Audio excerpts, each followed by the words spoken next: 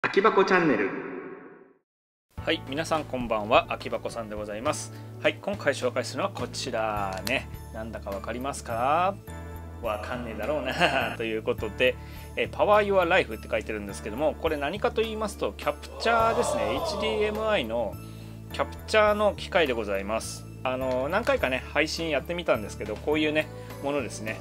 えー、結構これ高かったんですよ。2万ぐらい、えー、するやつなんですけどもなんかねあのアップデもしたんですけどどうも Mac と相性が悪いらしくてキャンプで Windows を入れて Windows を起動して使うっていうねすごい面倒くさいことをしてしまっているのでこちらね Amazon でさっきのね2万だったんですけどもこれ大体3000円ぐらいで売ってました。ね、で1回ねあのこれ収録するまでの間に、えー、日にちがあったのでこれねあの中身入ってなかったら大変なのでまあそんなことはないと思うんですけど一応ね開封で確認だけはしてました。でね開けていきましょう。でね本体がこんなちっちゃいんですよ。なんかの表紙になくしちゃいそうなぐらい、えー、ちっちゃいんですけどもさっきのやつと比べると、まあ、非常にねこうコンパクトですよね。おそらく中国製だと思うんですけどもこれねサクッとこういうや取説とおなんだ？やった。おめでとう当たった。おめでとう当たった。当たりましたじゃなくて。1500円ギフト券。いい評価を書いたら安くしてあげるからクーポン券あげるからいい評価書いてねっていうステマですね。まあステマなんで捨てましょう。はい、えー、今日随一のね、えー、面白いシーンが、えー、過ぎ去ったところでですね。こちらね早速つないでいきます。つないだ瞬間爆発したりして。USB ビデオってなんか増えてますね。これ今までなかったです。これつないでみましょう。OK 今録画されてるかどうかわかんないですけどちょっと黒い画面がね1個できましたね。えー、っとですね今プレステ3があるんでこのプレステ3のねえ配線をこっちにつなぎ替えてみたいと思います。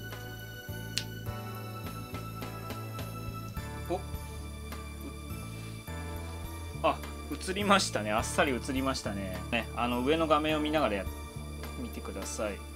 ああ意外とラグもラグどうなんだろう。ちょっとゲームやってみないと分かんねえな。音が来てませんね。USB マイクの他にですねあの音声としてえー、音声チャンネルにね HDMI を入れたら出てるかな。こう音が出るようになりましたね。じゃあちょっとスペハリで試してみましょう。せーがああすでに遅れてる。いいですか？いきますよ。これちょっとクレジット入れますね。せーの。Welcome to the fantasy zone. Get ready. ん？どれだったっけ？せーの。Welcome to the fantasy zone. Get ready.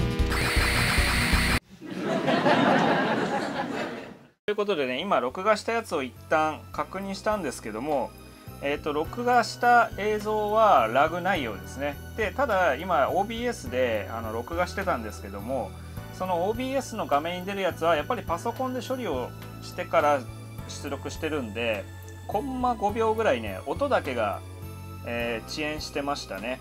あの画像はねそんなに俺あのガチの格ゲームと格闘ゲームとかねあのやる方じゃないのであの映像はラグがあんまり気にならなかったんですけどまあちょっと設定次第でもう少しうまくいくかもしれないですけども音はねもう許せないぐらいにあのラグってましたね。でも録画はうまくいってるんでえー、そうですね。えーと画面を2つ映して録画用のやつと実際にゲームするやつの画面に2つに分ければいけそうかなと思いまして実はねまあそうなるだろうということで予想してましてこれはねあのスプリッターですね。同じ映像を2つに分配するものです。これはね980円で買いました。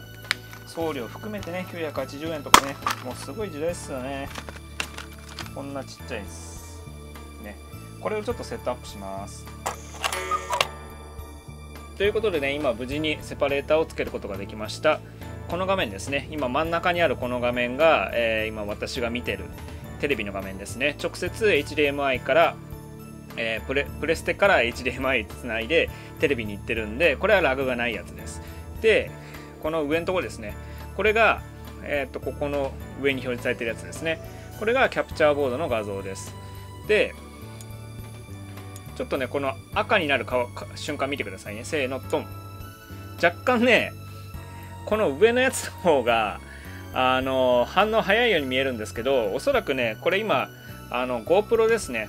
GoPro をあのウェブカメラとして使ってるんですけども、えー、処理にね若干時間がかかってるみたいでそれでねえっ、と見た目上はラグってるようですね。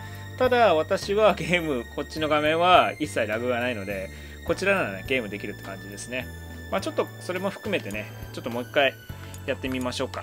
とあれですね。もしかしたら USB マイクがあのゲーム機の音拾っちゃってるかもしれないですけどちょっとそこだけすいません。我慢してください。はいじゃあ今日はですねスペースハリアーをやってみたということでございますけどもこれはですね、えー、セガの体感ゲームですね。1985年だったかな。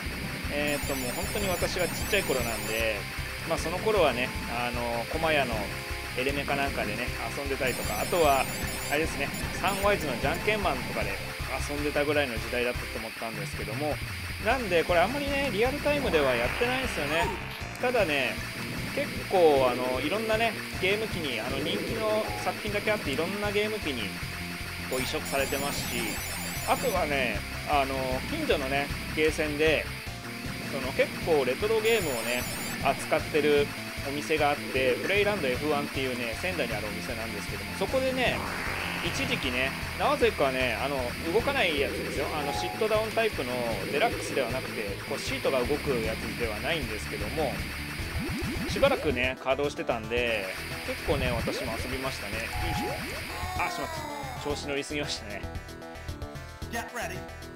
で、えーと、コツとしてはですねよく言われるんですけどあの画面の端っこに追い詰められちゃうとあの逃げ場がねなくなっちゃうのでこう8の字を書くようにね避けるといいって言われてますね。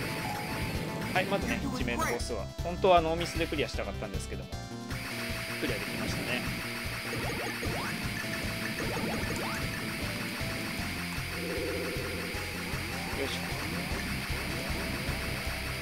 まあこれも半分ね覚えゲーみたいなものもありますけどね。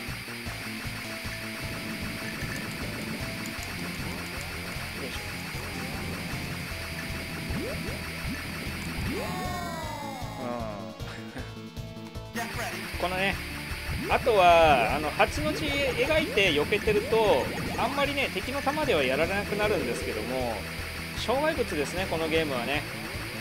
あの破壊不能オブジェクトこういうあの柱とかがあってこれにね当たってやられることが多いですね。まあまあと言ってる間に被弾してえー、ゲームオーバーになっちゃったわけなんですけども。はい。ってなわけでですね今回はこのねえー、約3000円ぐらいの安いキャプチャーボードを、えー、試してみたわけなんですけども。無事キャプチャーはねできるようですねなのでちょっとね画面の今比率変えてますけどもこういう感じでね、えー、こっちか、えゲーム機の画面を大きく表示してこっちでね、え手元の、えコントローラーなんかを表示して、まあ、生配信とかできるのかなと。あとはねえーと、HDMI なので、まあ、ゲームに限らずですね、まあ、多少ラグっても問題のないプレゼンなんかはこれで、えー、表示しながらですねあのちょっとセミナー的なものとか、えー、工作教室みたいなものがねできるのかなと思ってますね。えー、ということで、えー、無事、えー、3000円プラス、えー、スプリッター980円使っちゃったんで、まあ、4000円ぐらい、えー、かかりましたけども無事ね環境を手に入れることができました。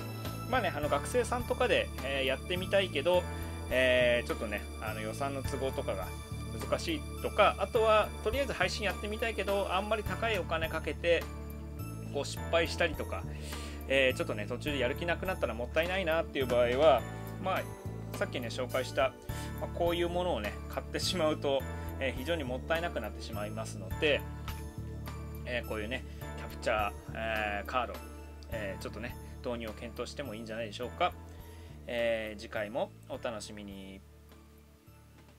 カメラこっちだね。